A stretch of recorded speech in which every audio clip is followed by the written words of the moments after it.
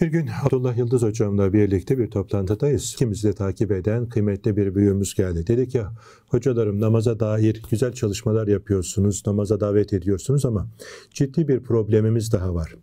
Efendim e, mahallemden çıktım e, çok meşhur bir camiye. ikindi namazına cemaate yetişmek üzere. Camiye vardım ama trafiğe yakalandığım için cemaat namazı kılmış. Cemaat dağılırken caminin avlusuna girdim. İçeriye girinceye kadar kaç tane Müslümana selam verdim ya duyuramadım ya da gafletlerinden dolayı selamımı almadılar. Bir Allah'ın kulu da 60-70 tane Müslümanla karşılaşmama rağmen birisi selam vermedi. Hocalarım, kardeşlerim lütfen gidip geldiğiniz yerlerde e, selamla ilgili de uyarılarda bulunun diye böyle bir hatırlatma yapmıştı. Aziz kardeşlerim, sevgili Peygamberimiz Aleyhisselatü Vesselam efendim bir meclise girdiğinde önce selam verir, sonra muhabbete başlardı. Selam vermeyenin konuşmalarına cevap vermezdi. Biz de kendimize genel prensip edinelim.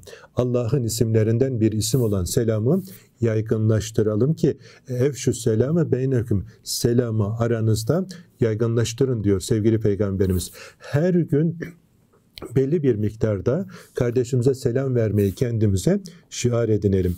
Eve girdiğimizde Evden çıktığımızda çoluğumuza çocuğumuza da bunu alıştıralım.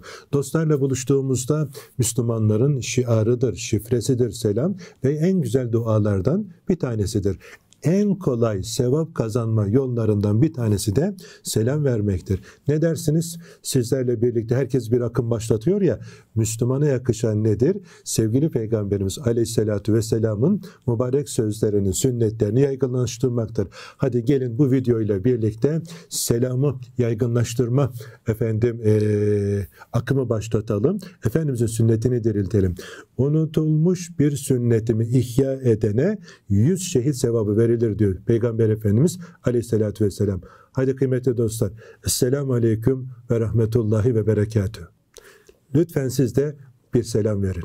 Sayfamıza abone olmayı ve başkalarıyla da bunları paylaşmayı lütfen unutmayın.